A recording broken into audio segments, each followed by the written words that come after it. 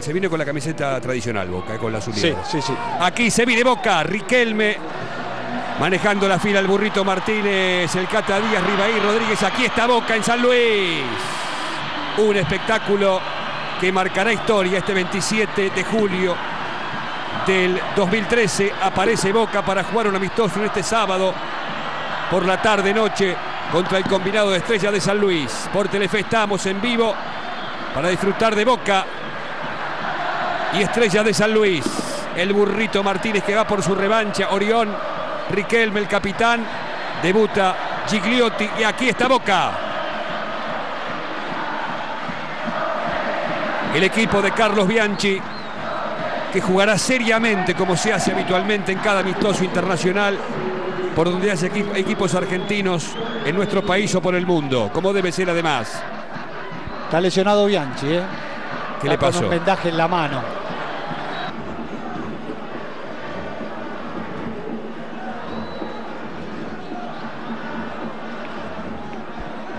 Va a poner en marcha el partido Vigliano. Por Telefe estamos con Diego Latorre, Marcelo Benedetto y todo el equipo del canal en San Luis. Pita Mauro, largaron, juega Boca contra las estrellas de San Luis. Riquelme, por allí está Ledesma. Y Boca que va por la izquierda con Zárate. Riquelme, Zárate otra vez. Estuvo cerca el equipo de Bianchi Marcelo. Cuando quieras te voy dando las bajas de Boca de cara a este campeonato, tomando como referencia el campeonato que ha terminado. Espere que va Riquelme y esto es peligroso. Sube el lateral, coloca el centro para Gigliotti. ¡Gol! ¡Gol!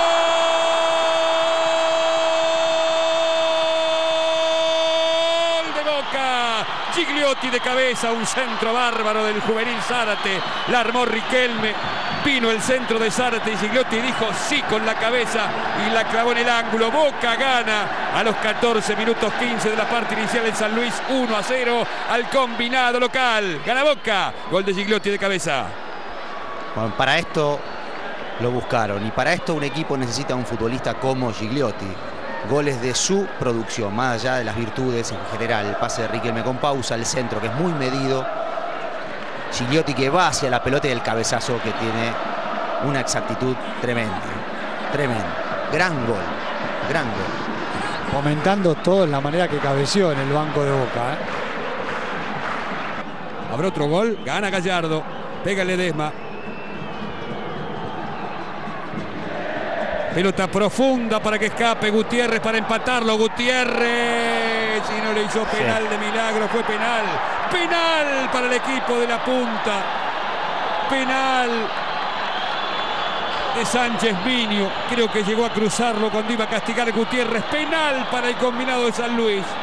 Creo que alcanza a tocarlo, fue imperceptible, pero creo que el toque, Diego, ya voy, mi querido Marcelo, alcanzó para desestabilizarlo que no pueda patear completamente al arco. Está desconsolado Aguirre porque es el que da el pase mal.